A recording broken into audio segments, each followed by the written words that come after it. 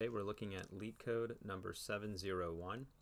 It's a question called Insert into a Binary Search Tree. And so we're given a root node of a binary search tree and a value to insert into the tree. We want to just go ahead and return the root node of the BST after the insertion, and it's guaranteed that the new value does not exist in the original BST.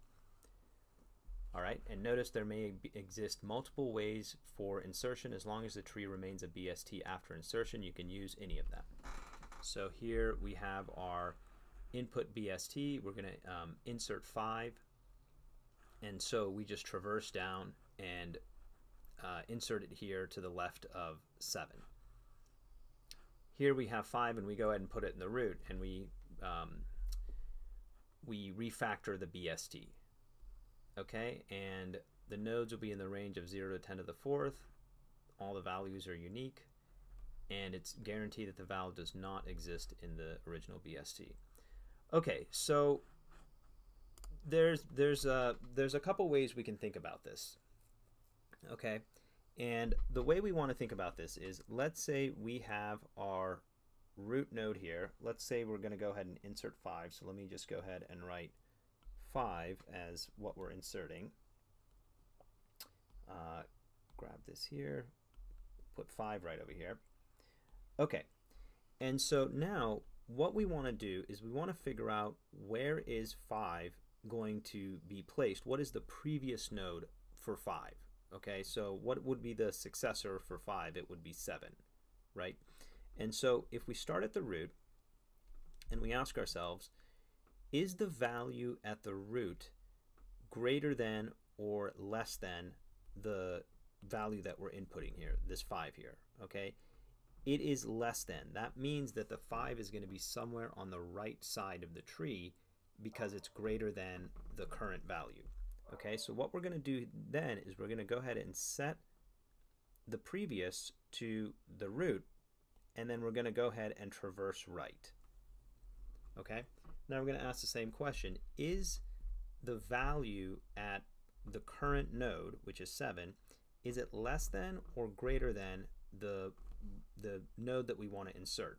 Okay, it's greater than. That means that this needs to be on the right or the left side. So what we're going to do is we're going to go ahead and set our previous to where the current is and then set the current over here and it's going to be at null. Now when current equals null, we break out of the loop, okay? And so now we have a pointer here to the successor for the node that we want to insert. And then all we have to do is just go ahead and insert this 5 right over here. We just do one more check. Is this, uh, is this value less than, I'm sorry, is this value less than the current value or the previous value? If it's less than, it's going to go on the left side, and if it's greater than, it'll go on the right side. Okay, so that's the idea. Uh, before we jump into the code, let's just quickly look at time and space complexity for this.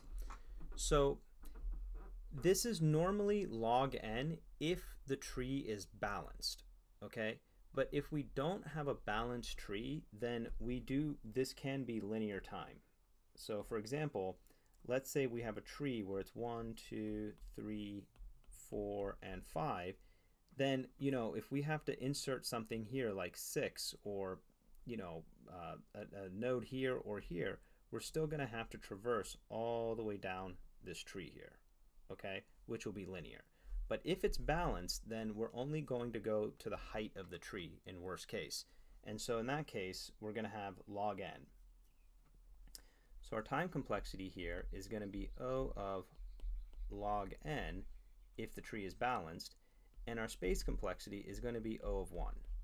It's constant space. We're not creating any new space relative to the size of the input. We're just creating a new tree node and then inserting it wherever it needs to be, and then we're creating a few other pointers to, to help us traverse down the tree.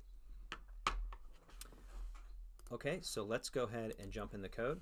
So first thing we want to do is we can just go ahead and create our tree node. So we'll just say new tree node of val.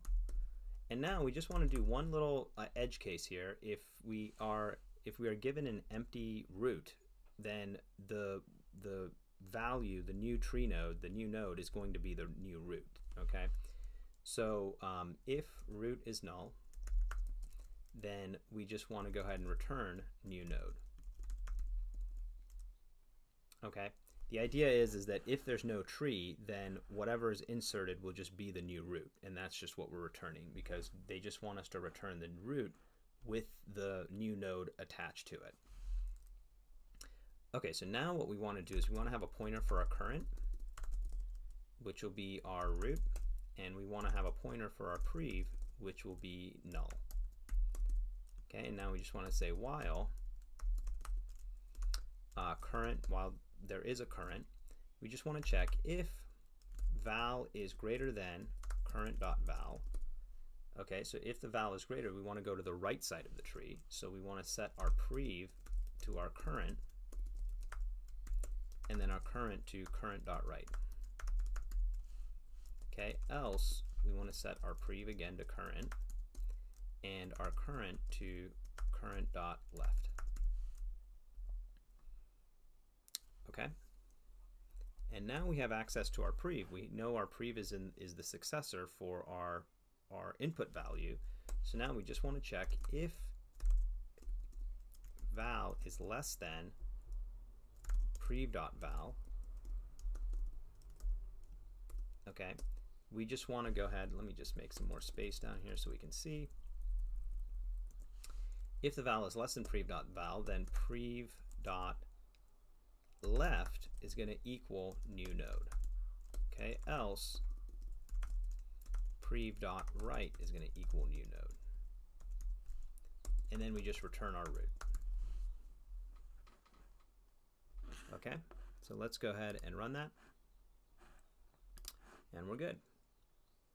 Okay, so that's LeetCode 701. It's not too difficult, but it's a good pattern to know um, just how to traverse a tree using depth first search. Um, and because th this this pattern does come up in a lot of other questions that involves trees, but it's it's good to be very very very specific about when you're going to have log n time or when you're going to have log of uh, uh, I'm sorry log of n time versus when you're going to have linear time versus when you're going to have log n time. And the difference is is if the tree is balanced or not okay? So just something to keep in mind with with these types of problems Okay, that's LeetCode 701. Hope you enjoyed it, and I will see you all on the next one.